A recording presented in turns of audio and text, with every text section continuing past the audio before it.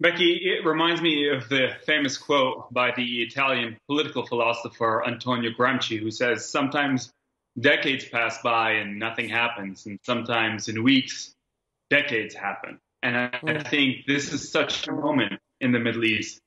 What's happened in the past 24 hours is incredible, and you're absolutely correct. We've had not only the assassination of Hezbollah's chief of staff, it's essentially top military commander now, but also the confirmation of the assassination of Hamas's top military chief and the assassination of Hamas's political leader. That is extraordinary. And I think it's a moment for all of us, myself included, in the analytical class here, who for a very long time have been saying that nobody, none of the involved belligerents in this conflict wants a full-fledged, war. Not the United States, not Iran, not Hezbollah, not Israel. I think we have to reconsider in light of the events of the past 24 hours. And to be fair, I don't think it's only the narrow political interest of the Israeli Prime Minister Bibi Netanyahu, who we heard speak uh, just yesterday, who said, I've been pressured to end the war, and I will not end the war, and then uh, pointed to all the victories and the successes that mm. he's had, all, all, these assassinations. I think there's a broad consensus in Israel. Um, Bibi's never been as popular as he is today since October 7th. And there's a broad consensus in Israel that the balance of power on the northern border, with Lebanon is unsustainable. And everybody I talk to who's been to Jerusalem uh, tells you that it's a matter of, of when and not if. This might be the moment, unfortunately, where we see something at a much on a much grander scale than many of us had imagined or hoped for. Hezbollah considered Iran's political, uh, military wing, as it were, in Lebanon, um, finance backed by Iran. Um, what happens next with regard to Israel and Hezbollah is a is a really important question. But behind this, of course, is you know what's the instruction from Iran? And the New York Times reporting on Wednesday that Iran's supreme leader Ayatollah Ali Khamenei issued an order for uh, Iran.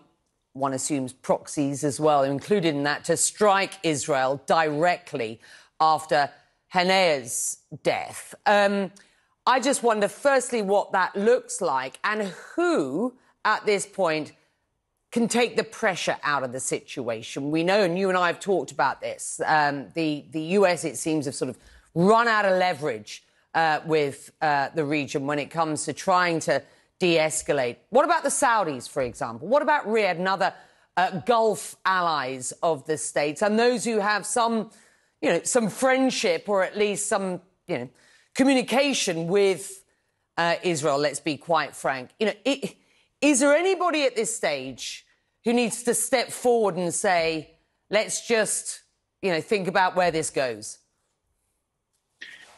Yeah, I mean, I have to say, I would love to be a fly on the wall in these private conversations that are taking place between Washington and Jerusalem. I think, despite the public discourse coming from the Biden administration that you know, the old line that Israel has the right to defend itself mm. and that the United mm. States will stand by its ally, there must be a great deal of frustration, to say the least, given what's materialized in the past 48 hours.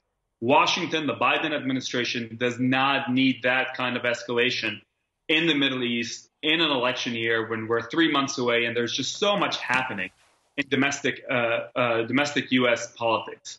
But I do think that this is a good example of the limitations that Washington has in terms of trying to prevent even its closest allies in the region to step back from war when, in fact, the calculus seems to be in Jerusalem that war and changing the balance of power is in its interests.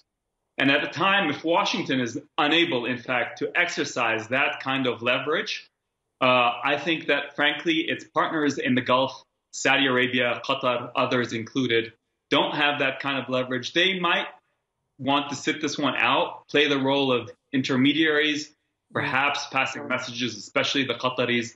But the reality is that there's there's not much that others can do if, in fact, Israel in particular, but others in the region. I mean, the Iranians still have the opportunity to step step back from this. Hezbollah too, a more limited response.